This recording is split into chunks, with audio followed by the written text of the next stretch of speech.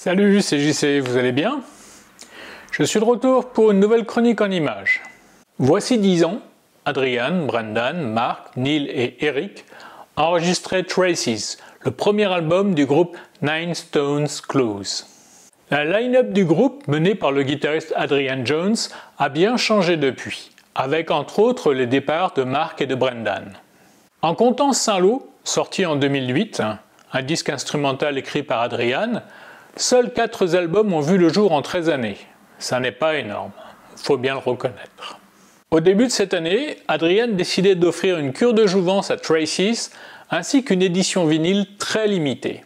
Et bien évidemment, si je vous en parle, c'est parce que j'ai le bonheur de posséder un des 250 exemplaires de cet album, avec sa pochette revisitée pour l'occasion par Antonio Serras.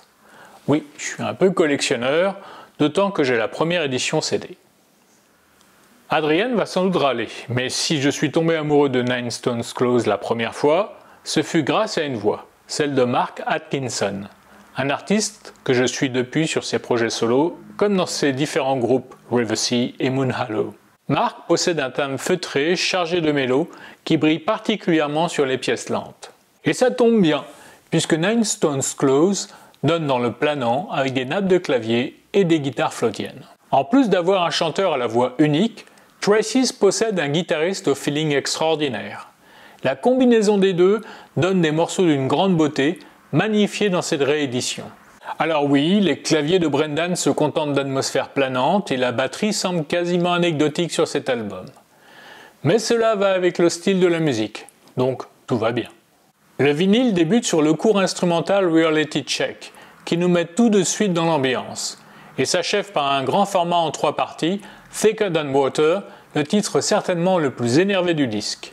Entre les deux se glissent trois autres morceaux, dont le sublime Falling to Pieces, qui est de loin mon préféré, avec le long Threads. Je vous recommande d'écouter Tracy's le soir, au calme, dans une pièce aux lumières tamisées, quand la maison s'est endormie.